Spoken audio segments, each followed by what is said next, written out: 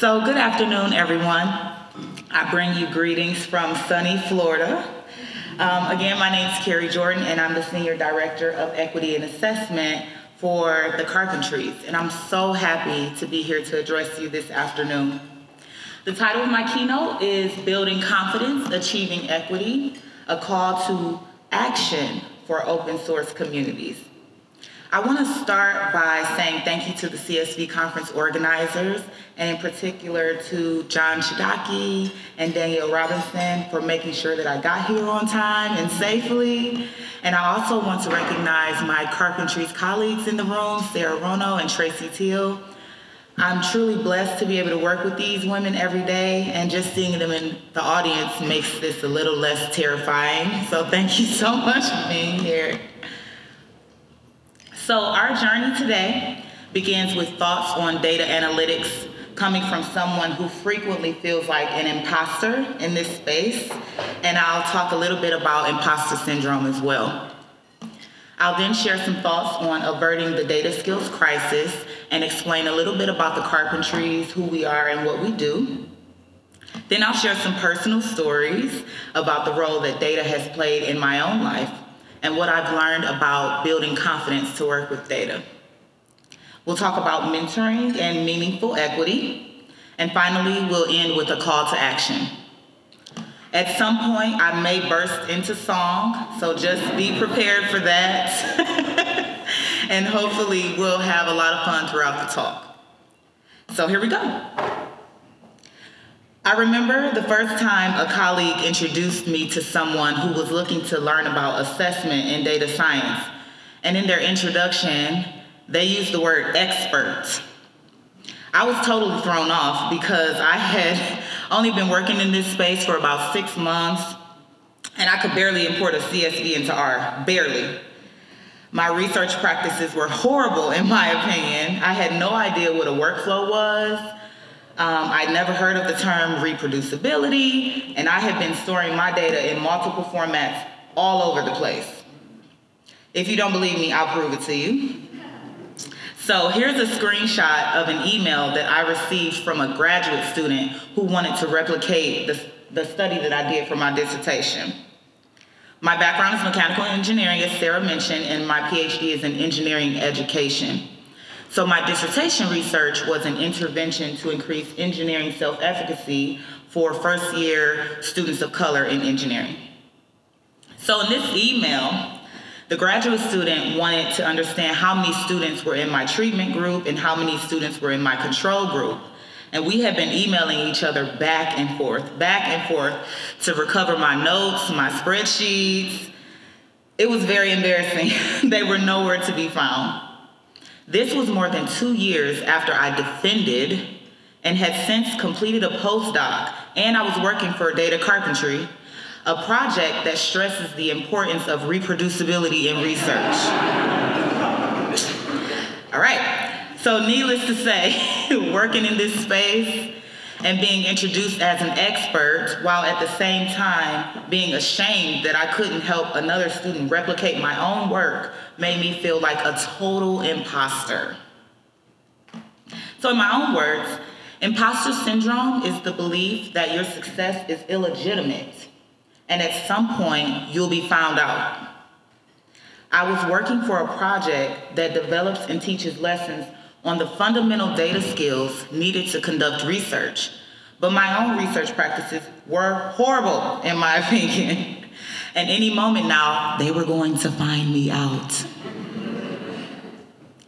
The day I realized that I wasn't an imposter in this space was the day that I received this note from a colleague.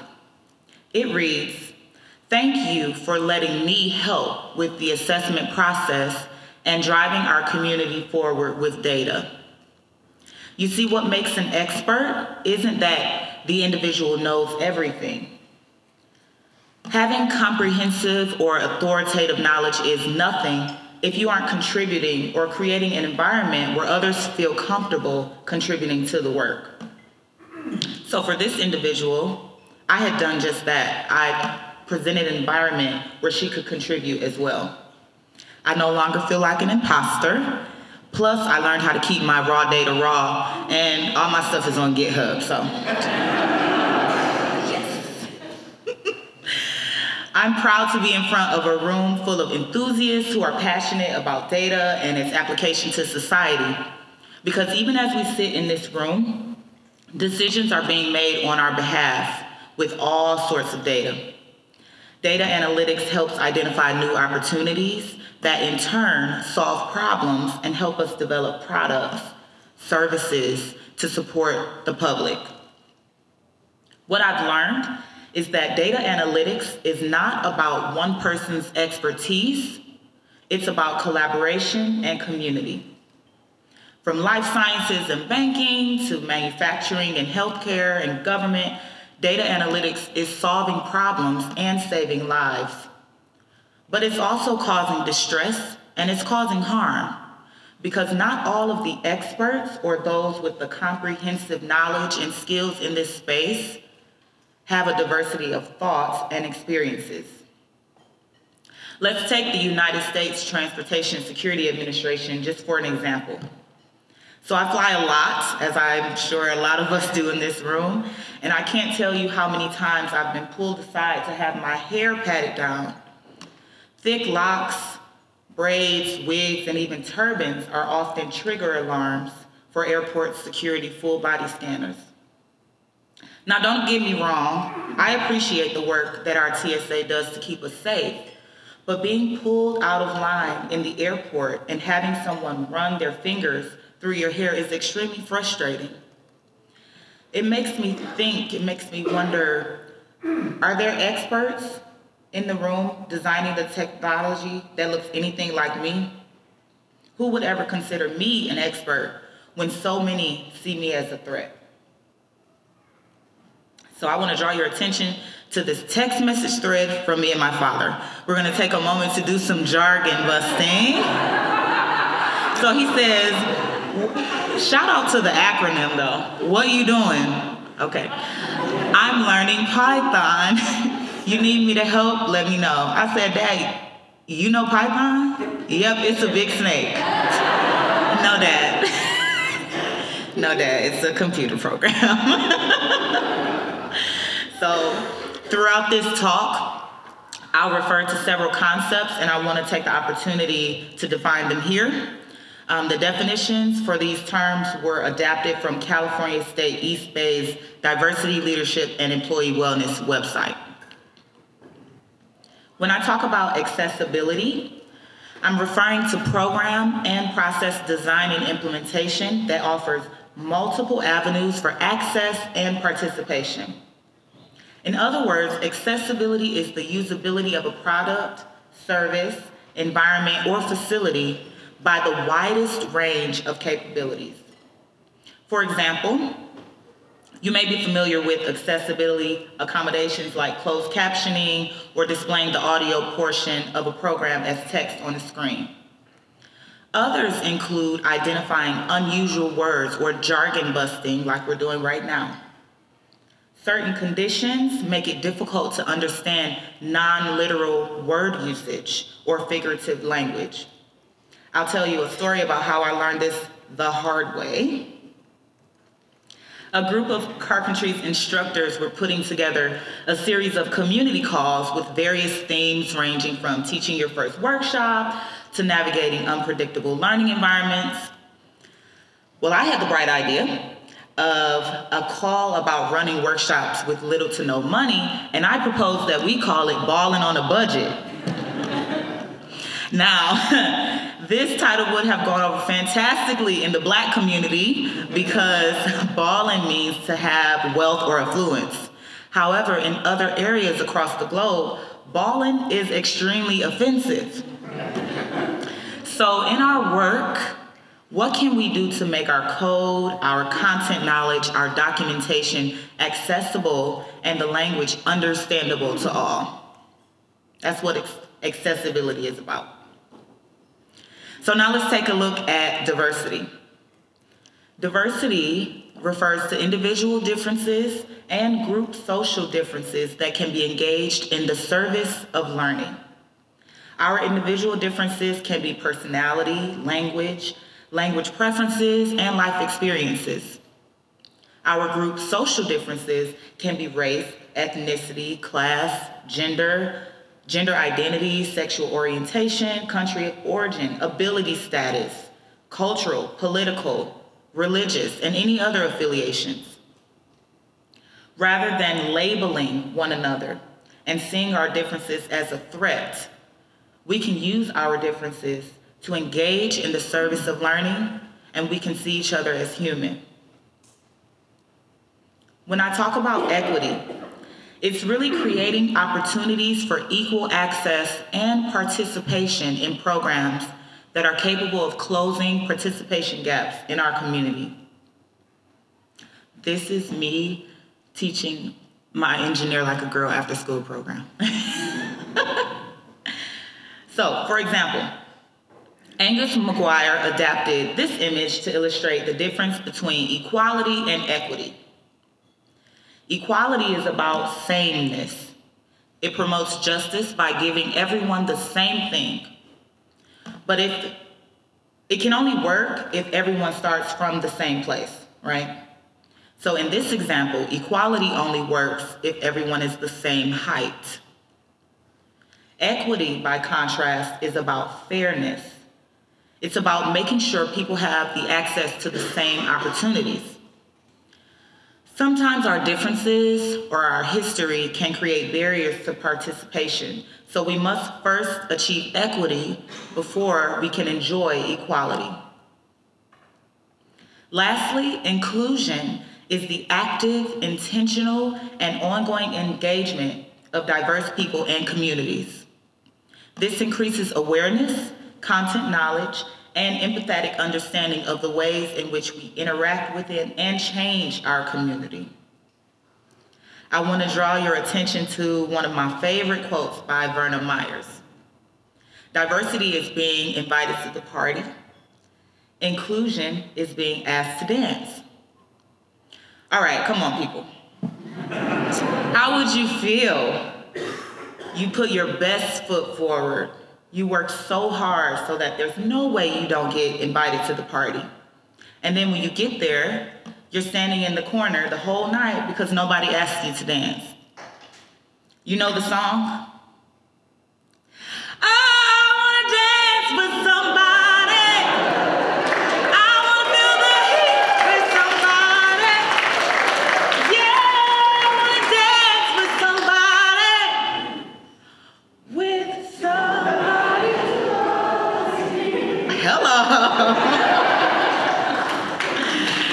Inclusion is more than inviting people to the conversation or the workshop or the conference who don't look like you.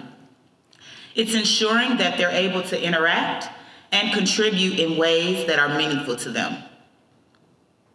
So now that we're all hopefully familiar with the terminology, let's talk about approaches to building confidence to work with data with these concepts in mind. I'm gonna take a drink of water. It's a lot of words.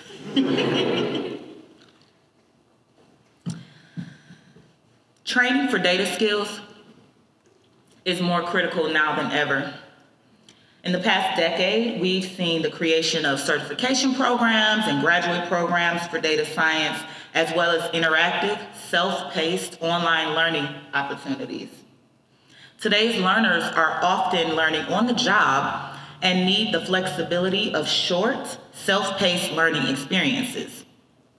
Though much of training and learning is happening online, the importance of guided instruction and learner-instructor interaction is still apparent. Data-heavy research fields require the use of sophisticated tools and computational resources. Unfortunately, many researchers or individuals who have data but don't know what to do with it are prone to using tools that introduce errors such as automatic date formatting and unexpected sorting results. There's a better way, and there are better tools available today for researchers, including statistical programs such as R and Python and cloud resources.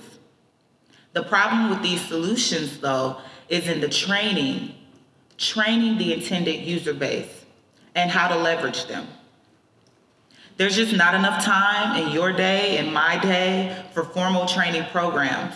And even if there were, there are many institutions that don't access the technology or have the bandwidth to participate in formal training programs. Low hanging fruit, in my opinion, is to reach diverse populations through training.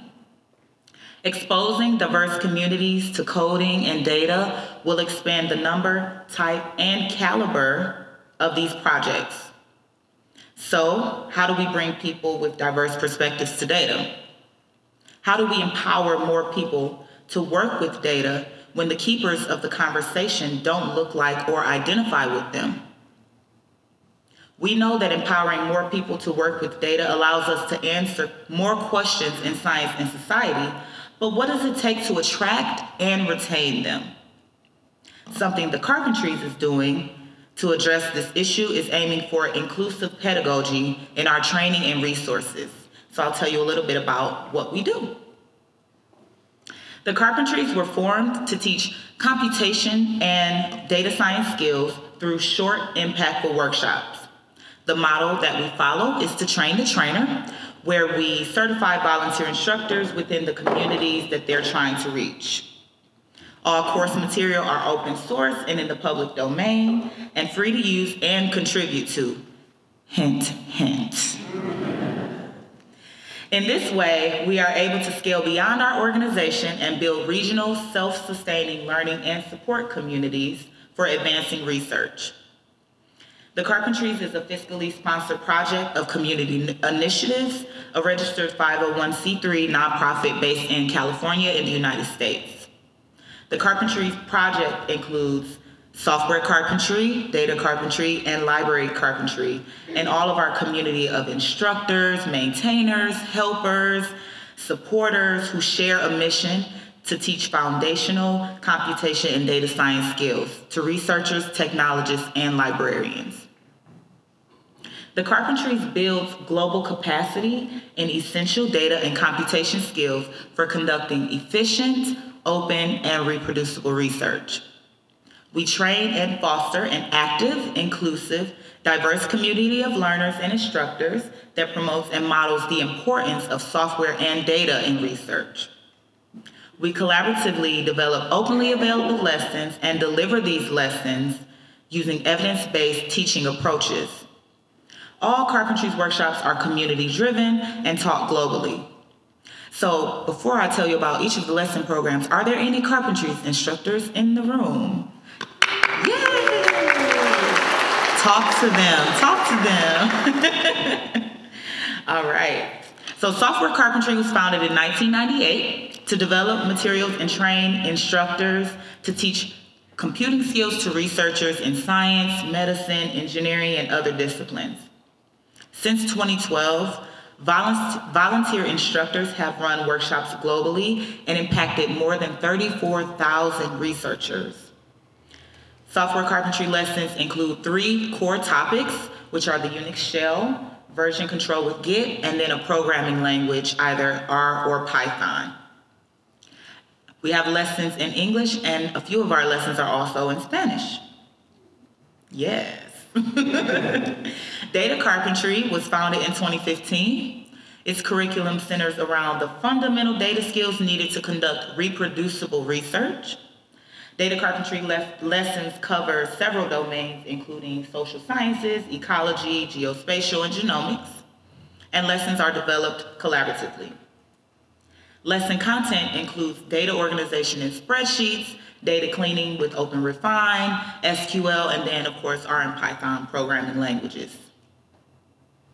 And then lastly, onboarded as a lesson program in 2018, Library Carpentry develops lessons and teaches workshops for people who work in library or information related roles. Library Carpentry's goal is to create an on-ramp to empower this community to use software and data. Additionally, Library Carpentry seeks to train individuals on efficient and effective reproducible data and software practices. Library Carpentry's core curriculum includes an intro to data, the Unix shell, and then data cleaning with OpenRefine.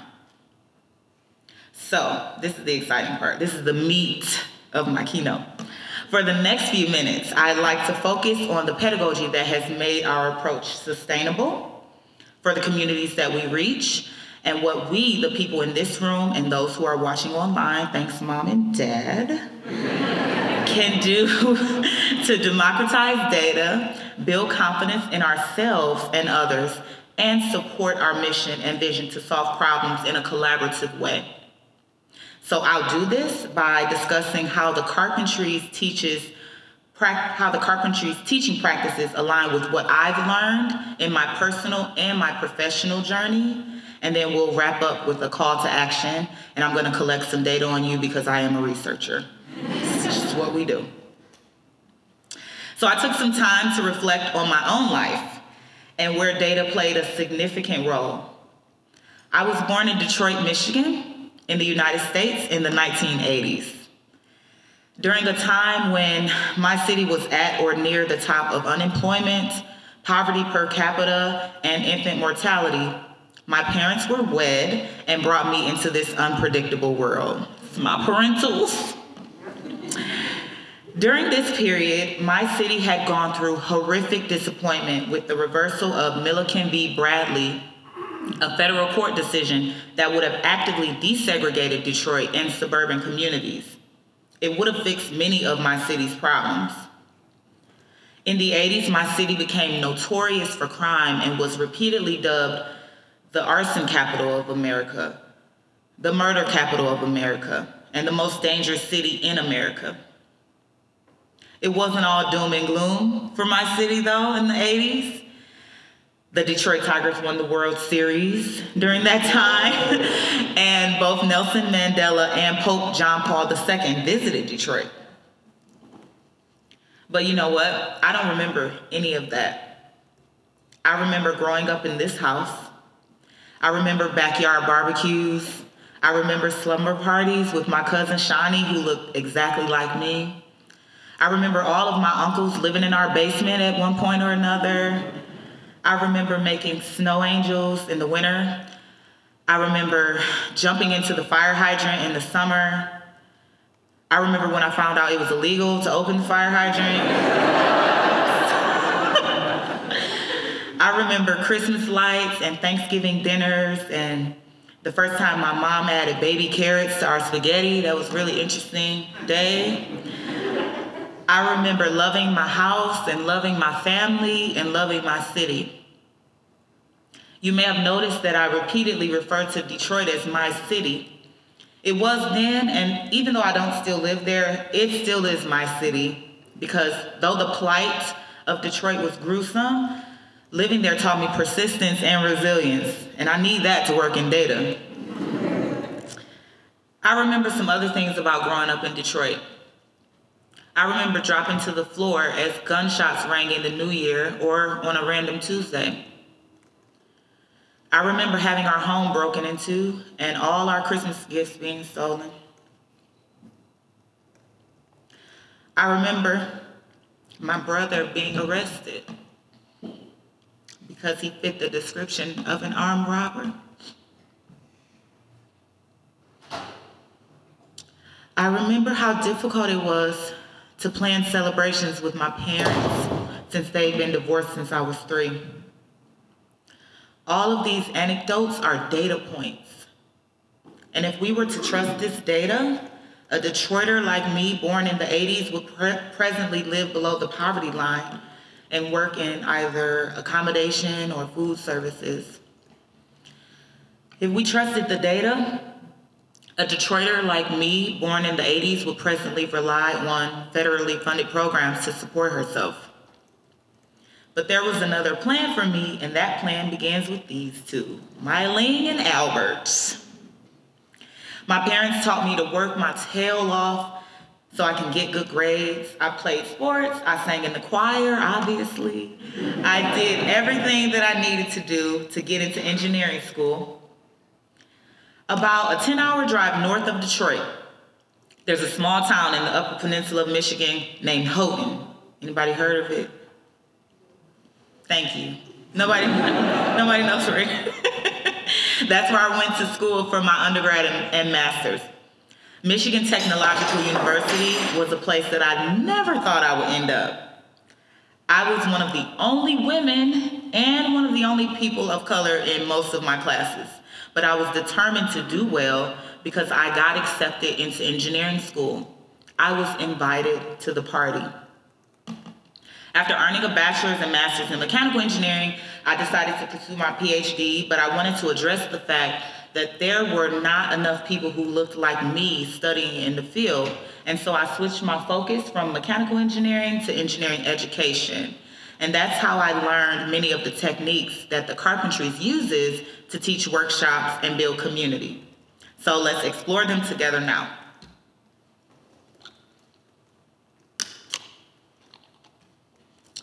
Building confidence to work with data requires multiple approaches. Combining the power of guided instruction with the flexibility of short, focused learning experiences has the potential to achieve equity among practitioners who want to work with data. By acknowledging and building upon the four pillars of self-efficacy, the Carpentries has been able to develop and train communities of practice by sharing good data practices. So here's what I mean by self-efficacy, a little more jargon busting. One of my favorite quotes is from Mahatma Gandhi, and it reads, if I have the belief that I can do it, I shall surely acquire the capacity to do it, even if I may not have it at the beginning. Gandhi's quote describes how I think about self-efficacy. Self-efficacy refers to an individual's belief that she is capable of solving a problem or taking action in a certain goal, such as writing a computer program to solve a problem that she's interested in. Self-efficacy is formed by performance outcomes, vicarious experiences, verbal persuasions, and physiological feedback. Increasing self-efficacy can ultimately improve access and equity for individuals who are historically underrepresented and underserved in the data science space. So I didn't come up with any of that. That was all Albert Bandura, just in case you were wondering. That was not me. So I get this question a lot. What's the difference between self-confidence and self-efficacy? Self-confidence is trusting in your abilities, your qualities, and your judgment However, self-confidence refers to a more generalized personality characteristic. Self-efficacy points to your ability to succeed in a very specific task or accomplish a specific situation. So we'll go over the four pillars of self-efficacy. I want to start with performance outcomes with a short video. Oh.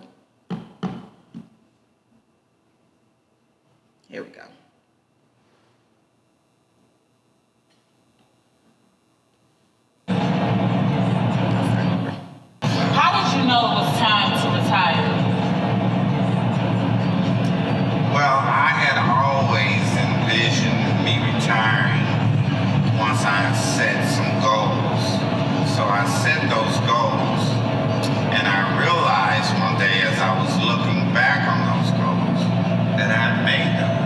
Oh! And I knew it was time It was- retire. So what exactly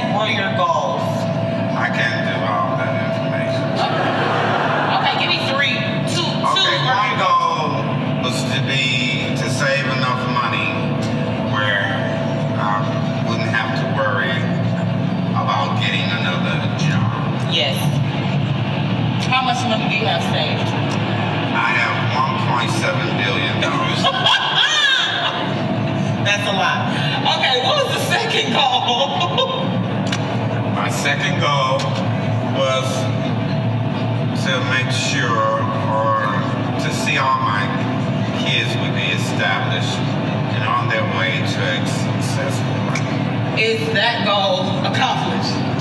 Yes. It's debatable. and one more goal, just one more for the record, for the listeners.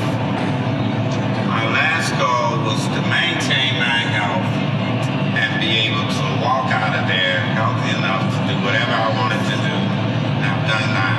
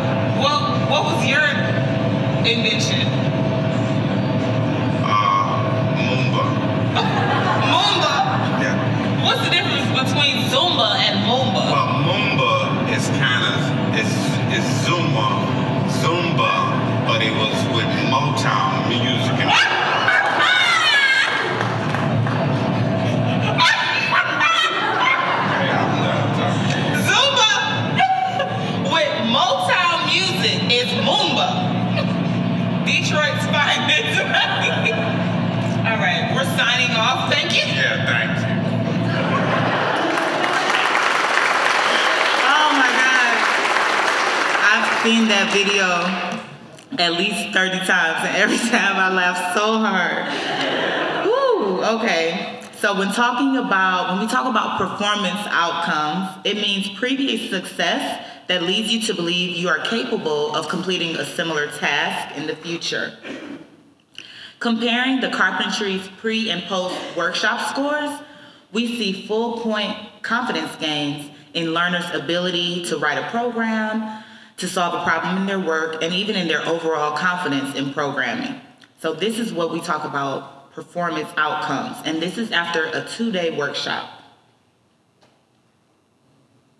When you see someone else completing a task, you believe you can do the same. This is one of the reasons why I love the Carpentries teaching practices. Rather than displaying a slide deck of code, instructors deliver content by live coding. These are vicarious experiences. This method provides learners the opportunity to practice and receive continuous feedback about their code. It is important to keep in mind, however, that feedback is not helpful if you cannot understand it. Live coding facilitates tacit knowledge or learning by watching how others do things. And the best way I can describe verbal persuasions is by showing you another short video.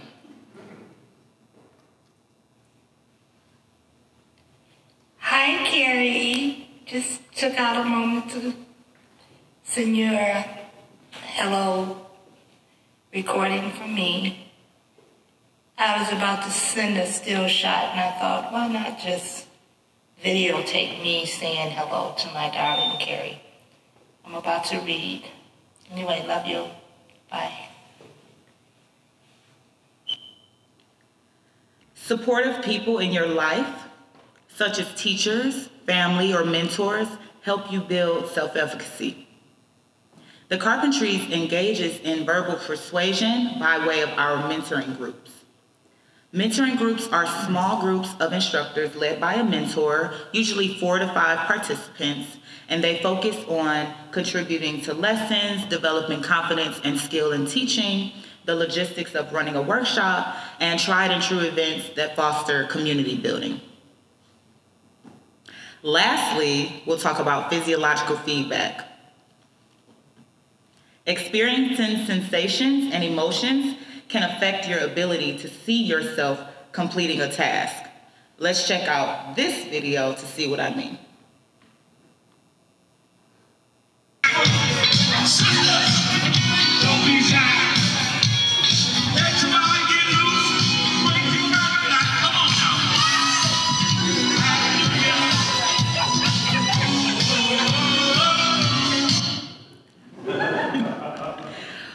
Tend to think of emotional arousal in terms of excitement and joy, like you saw from my father dancing on his birthday. Um, but at times, learning environments can create a sense of anxiety if they aren't designed and facilitated with equity, inclusion, and accessibility in mind. Loose. Again. One more time, Dad. the Carpentries are committed to making participation in our workshops a harassment free experience for everyone, regardless of level of experience, gender, gender identity and expression, sexual orientation, your personal appearance, body size, race, ethnicity, age, religion. We establish norms for interaction by having, discussing, and enforcing a code of conduct such that our workshops provide open and inclusive learning environments. So to recap, I said a lot just now. Considering any or all of the factors determining self-efficacy can help us not only build our own self-efficacy and general confidence to work with data, but it can ultimately achieve equity and help each of us feel as if our contributions are welcome and acknowledged. I've asked us to consider many things this afternoon, and now it's time to bring it home with this thought. Science, scholarship, and society is better by, by having diverse people with the skills and the abilities to address questions that are important to them. I encourage us to work together to provide easily accessible resources for people who are unfamiliar with the tools and the technology that we've grown to love and hate. Sometimes I hate it, sometimes I love it. what if there were a greater diversity in the spoken languages that we teach and interact? How can we recognize and appreciate the different cultural norms that exist around data, programming, teaching, and volunteering in different regions? How can we recognize and value the various types of contributions that we see in this space? How can we work with existing organizations to reach broader communities rather than building or reinventing our own networks? How can we authentically work with broader communities rather than approach our work with the we're doing it for them mentality? We won't be able to answer all these questions or solve these issues over the next two days, but what I do want us to realize is that our story and our contributions matter. And if we're going to build confidence in ourselves and the way we interact with one another, we can only go further when we go together. Now, I wouldn't be a researcher if I didn't collect data. So if you're able to, please follow the URL that I put on my call to action slide. It leads to the link for my slide deck and also a prompt that I'd like us to take about five, yes, we have five minutes. The prompt, um, I would like us to take five minutes to share. Please share an experience that may have created a barrier to you participating in data or open source communities and how that barrier could have been removed. So we'll take five minutes to and if you have any issues with the prompt i was going to say put up a red sticky but i didn't pass out any stickies i'm so used to saying that. Uh, we'll take five minutes to answer the prompt and then questions